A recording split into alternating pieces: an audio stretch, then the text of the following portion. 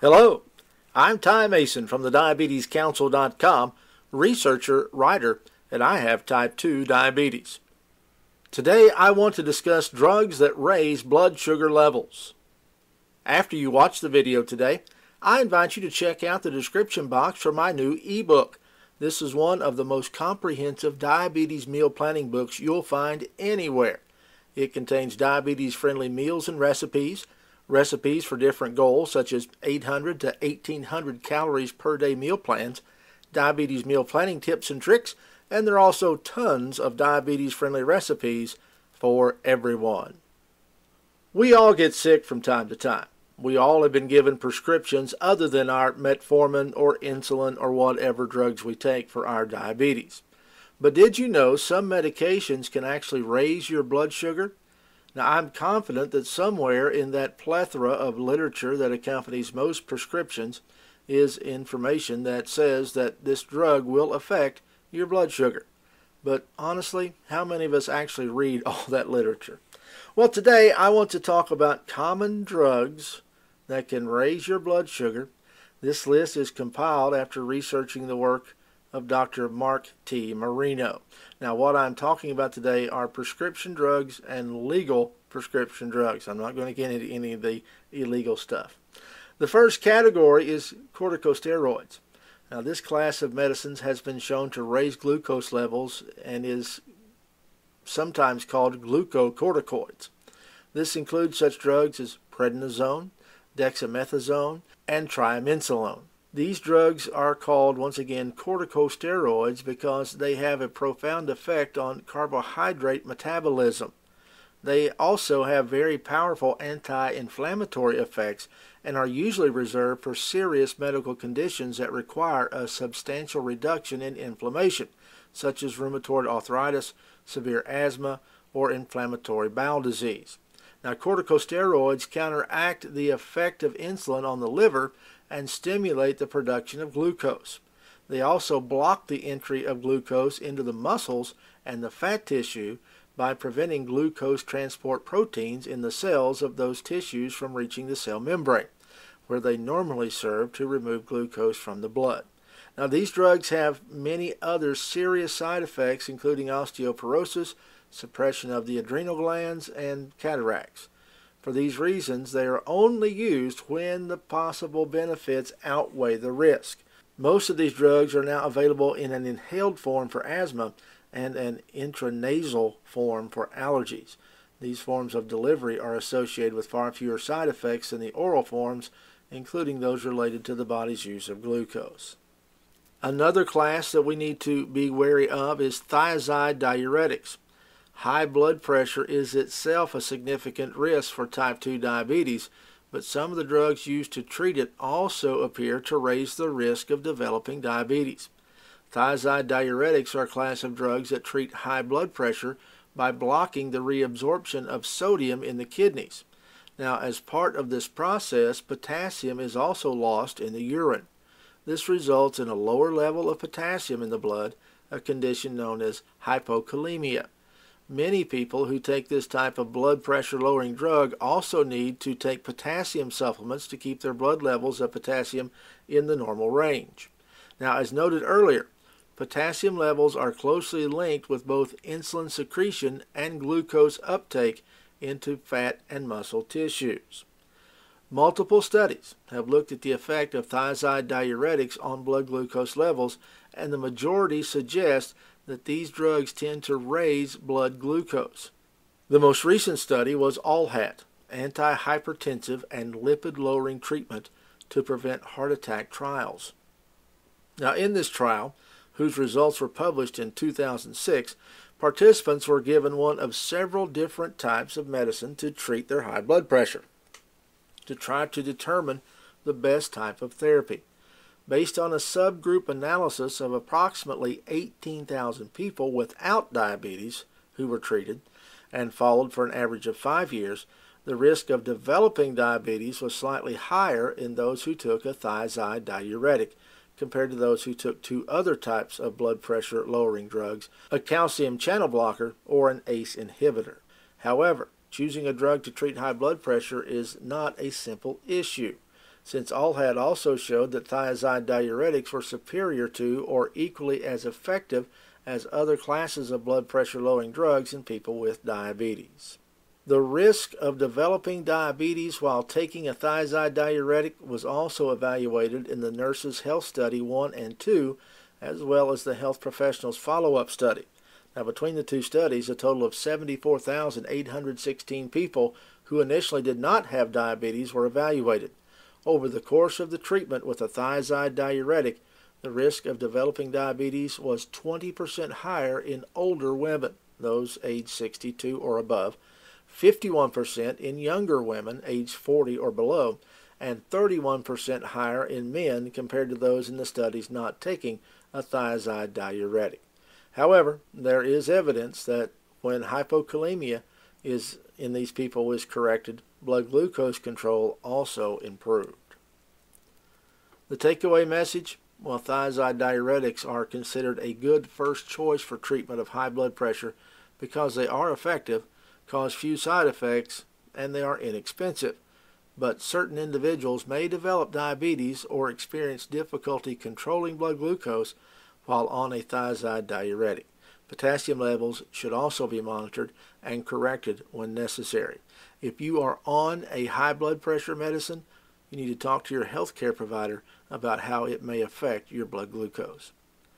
Beta blockers are the other major class of blood pressure lowering drugs that have been implicated in causing diabetes or worsening diabetes control. The several large studies that have looked at the risk of diabetes associated with beta blockers include the Nurses Health Studies 1 and 2 and the ongoing atherosclerosis risk in community study.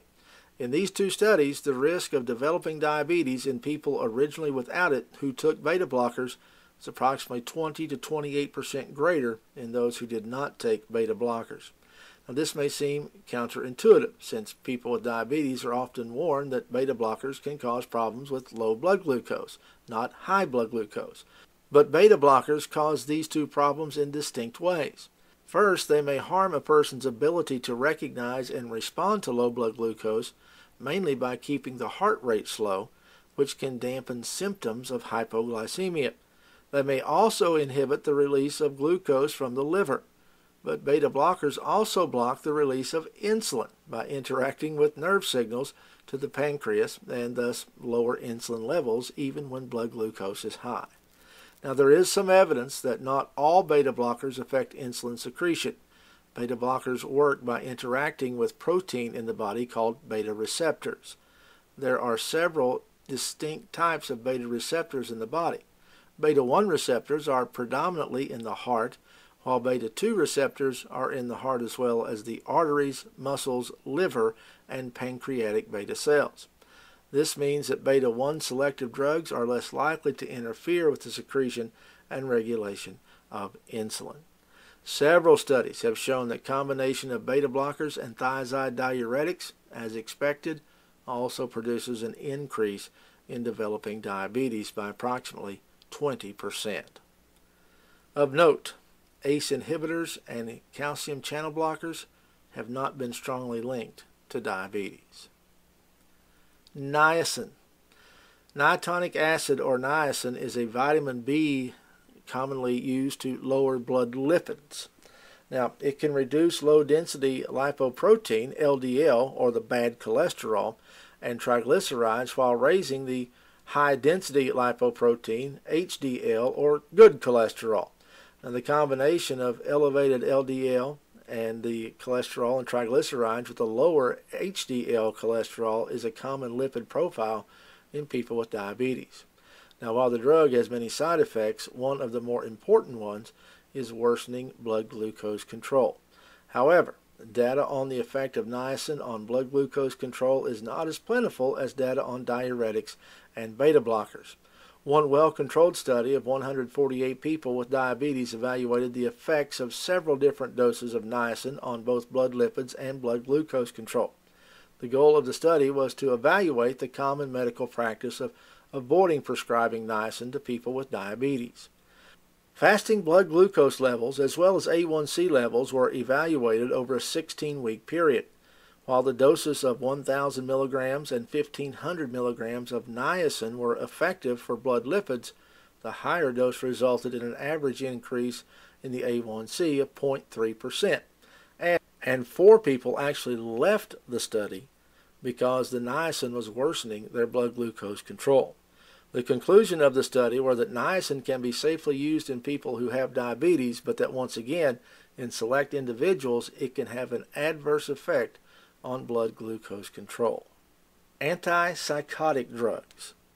Antipsychotic drugs are used to treat severe psychiatric conditions such as schizophrenia.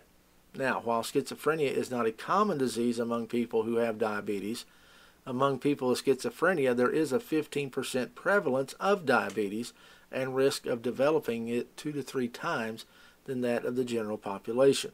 Some of this risk may be due to family history, poor diet, and physical inactivity, but recent evidence suggests that some drugs used to treat schizophrenia may increase the risk of developing diabetes.